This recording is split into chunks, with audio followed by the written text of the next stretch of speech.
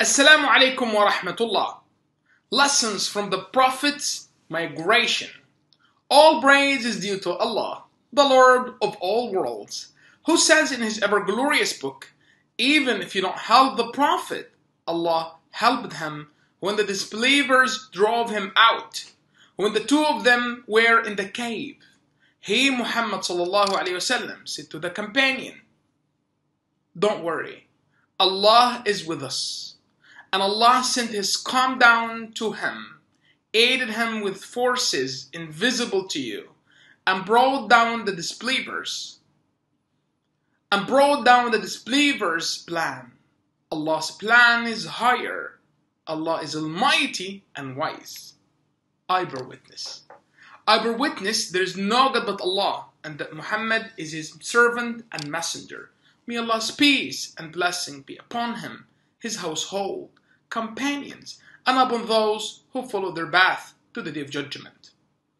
The blessed migration of the Prophet ﷺ from Mecca to Medina was an event that changed the course of history and an introduction to a great history of Islam and Muslims.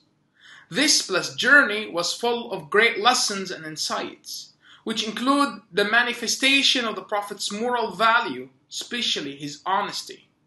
The polytheists used to keep their money with the Prophet ﷺ as a trusts, and used to call him as-sadiq al-amin, the truthful and the honest. When the Prophet ﷺ wanted to migrate to Medina, he asked Ali ibn Abi Talib to stay at Mecca to return the trust to their owners, even though they had harmed him and tortured his companions, expelled them from their homes, and forced them to leave their properties. This is honesty in its highest sense.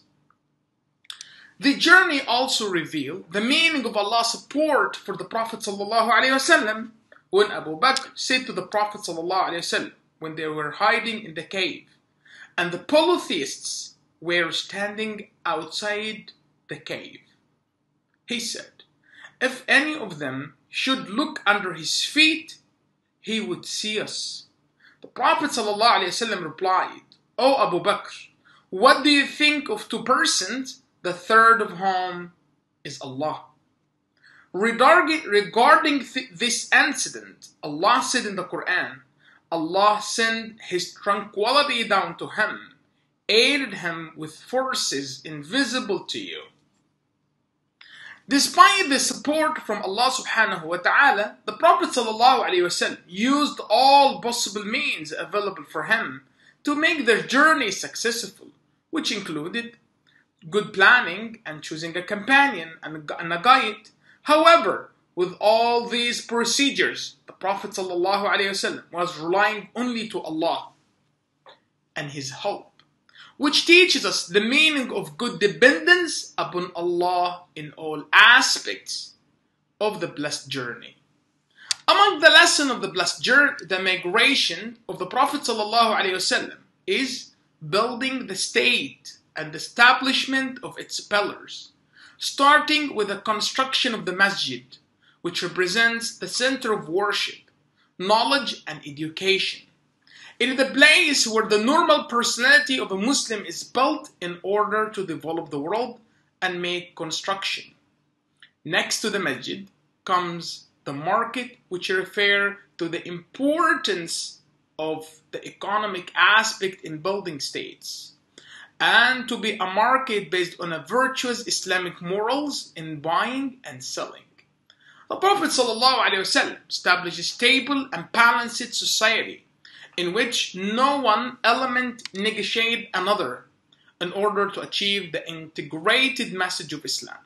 As the Almighty said, It is He who has made the earth manageable for you, travel its region, and eat His provision, and to Him you will be resurrected.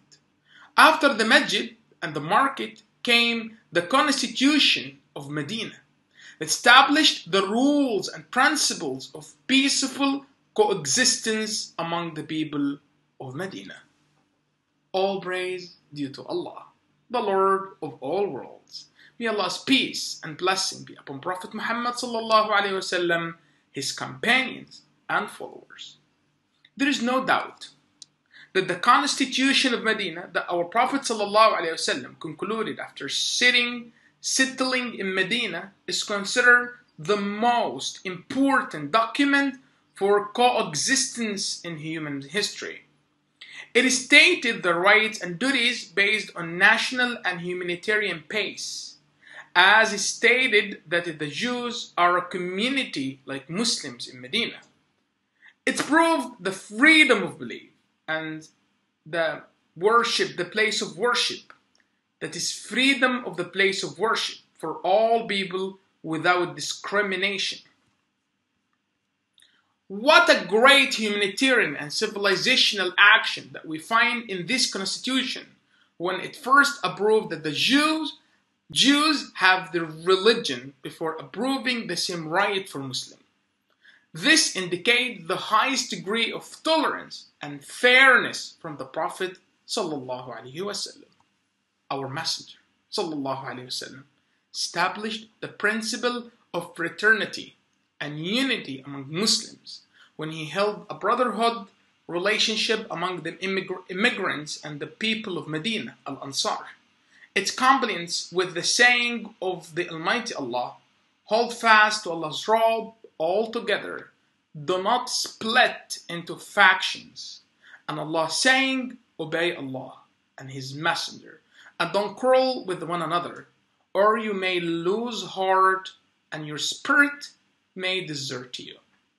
The Prophet ﷺ said, Do not nurse hatred against one another, nor jealousy, nor enmity, and do not show your back to one another and become as fellow brothers and slaves to, of Allah. A Muslim is a brother to a Muslim. A Muslim is a brother to a Muslim. A Muslim to a brother is a brother to a Muslim.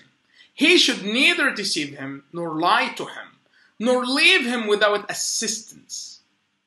We need to be inspired by the meaning of his blessed migration by turning to what pleases the Almighty Allah in terms of our deeds and sayings, and by shifting from idleness and laziness to diligence, to diligence and perfection, and from selfishness to sincere human fraternity. As our Prophet ﷺ said, a Muslim is the one from whose tongue and hands the Muslims are safe. And a mujahid, a mujahid, a muhajir and a muhajir is the one who refrains from what Allah has forbidden. One more time, a Muslim is the one from whose tongue and hands the Muslims are safe. A mujahid, immigrant, is the one who refrain from what Allah's Allah has forbidden. We ask Allah to protect our country Egypt and all other countries of the world. Thank you.